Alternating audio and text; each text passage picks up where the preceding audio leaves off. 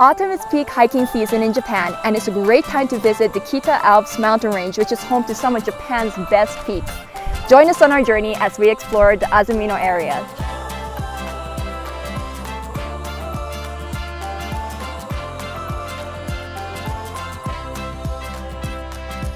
Our trek starts at Nakabusa Onsen Trailhead, a 40-minute drive from Hotaka Station, which is a direct line from Shinjuku Station on the JR Chuo Line Limited Express.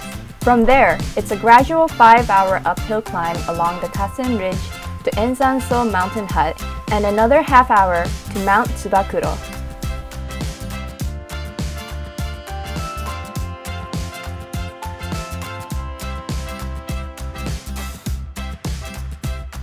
Enzanso is run by third-generation owner Kenji Akanuma, who was one of the people responsible for pushing for Mountain Day, one of Japan's national holidays, to fall on August 11 instead of in June.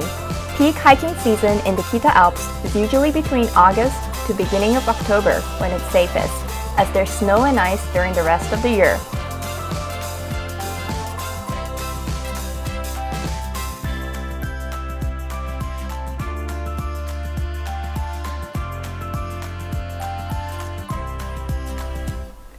The next day takes you on a 3-hour hike to Mount Otensho and then another 4 hours to Jonen Mountain Hut. If you're lucky, you'll see the Raicho, Nagano Prefecture's official bird.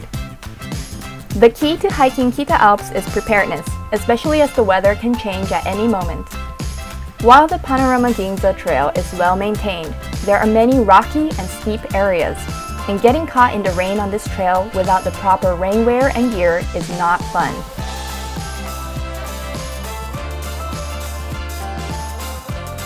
Jonen Mountain Hut is at the base of Mount Jonen, a steep uphill climb with possibly the best views of this entire hike, especially with the Unkai clouds you can see early morning.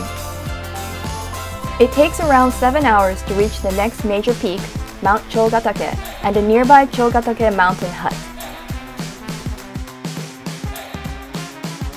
From Chogatake Mountain Hut, it's a 5-hour descent to Kamikochi, a popular tourist attraction famous for camping, swamps, and mountain views. You can treat yourself to well-earned ice cream or a hot bath in one of their onsens.